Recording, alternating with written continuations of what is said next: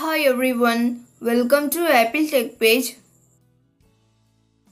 In this video, I will show you how to fix terminal operation not permitted error in macOS Big Sur. Solution 1 is permit full disk access the application. Select system preferences under Apple menu Here click on security and privacy. Select the privacy tab. In left side menu, select full disk access. Click the lock icon in the lower left corner and enter your admin password to unlock it. Now click the plus icon to add an application with full disk access.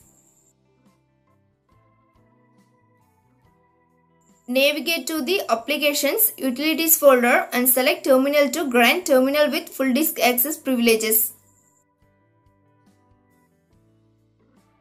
Then relaunch the terminal. The operation not permitted error will be not occurred. Thanks for watching this video. Do like, share and subscribe to Apple Tech page.